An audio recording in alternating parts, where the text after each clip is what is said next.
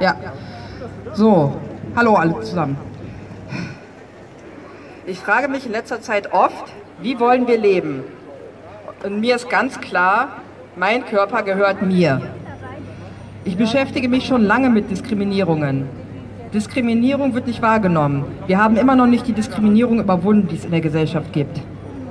Durch überzogene Moral wird es übertüncht, dass die Diskriminierung dennoch da ist. Teilweise wird sie dann von positiver Diskriminierung überschattet. Beispiele, die man dann hört, sind Personengruppe XY kann besonders gut tanzen, Frauen sind alle empathisch. Bei solchen Aussagen rückt wieder der Mensch aus dem Fokus. Man begegnet einem Menschen nicht, um ihn kennenzulernen, um sich auf ihn einzulassen und um zu schauen, was er mitbringt, sondern bleibt bei der Einteilung in Gruppen die mit bestimmten Eigenschaften verbunden sind. Jetzt wird künstlich noch eine neue Unterteilungskategorie aufgemacht, geimpft und ungeimpft. Noch nie war die Teilhabe am Leben an eine Gentherapie geknüpft. Im Übrigen sind die Kriterien für eine Behinderung der Grad der Einschränkung der Teilnahme, äh, der Teilnahme am gesellschaftlichen Leben. Durch 2 oder 3G werden nach diesem Kriterium nun mehr Menschen auf einen ähnlichen Stand gebracht. Besonders großartig ist dies für Menschen, die schon von Behinderung betroffen sind, sich vielleicht sogar aufgrund ihrer Behinderung bzw. chronischen Erkrankung nicht impfen lassen können. Möglicherweise möchten sie das Risiko, dass sich ihr Gesundheitszustand durch die Impfung noch weiter verschlechtert, einfach nicht eingehen. Als Resultat werden sie noch weiter eingeschränkt, als sie es schon äh, in ihrem bisherigen Leben erfahren haben. Für Menschen mit Behinderung gibt es beispielsweise in der Uni Nachteilsausgleiche oder im Job steuerliche Erleichterung, auch wenn diese lachhaft gering sind.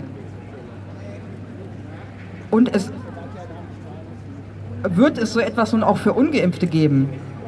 Wie ist das eigentlich mit dem in linken Kreisen viel beschworenen Intersektionalismus? Wie unterscheidet es sich, Migrantin und ungeimpft zu sein, zu nur ungeimpft zu sein? Werden vielleicht sogar ausländerfeindliche Gedanken und sogar Äußerungen zunehmen, wenn sich herausstellt, dass die Person nicht nur einen Migrationshintergrund, sondern auch keine Impfung hat?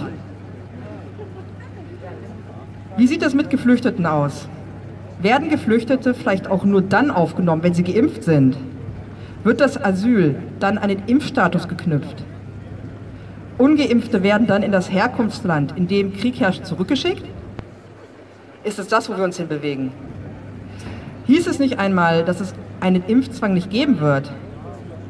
Was ist das, wenn die Teilhabe am Leben, der Schutz vor Diskriminierung, vor politischer Verfolgung und vor Krieg an einen Impfstatus gebunden ist?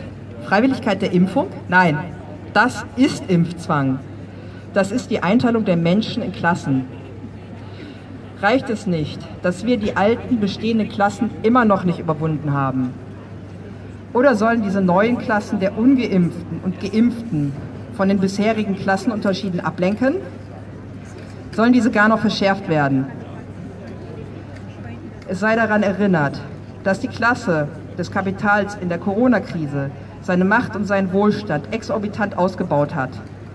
Die, Arbeit, die arbeitende Klasse hingegen ist in Schulden und immer prekärer werdende Verhältnis gestoßen worden. Übrigens, die 3G-Regel trifft die, die ganz unten sind, am härtesten. Diese werden durch kostenpflichtige Tests dazu gezwungen, sich zu impfen. Wohingegen Wohlhabende ihre Gesundheit und ihre Würde, ihre Selbstbestimmung über ihren Körper durch Freitesten weiter beibehalten können. Daher fordere ich Abschaffung aller Maßnahmen, So. Nieder mit der Maskenpflicht.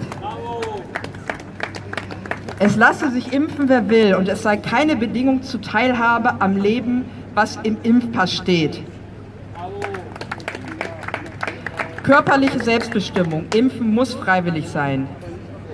Und während den Anfängen einer 2G-Klassengesellschaft.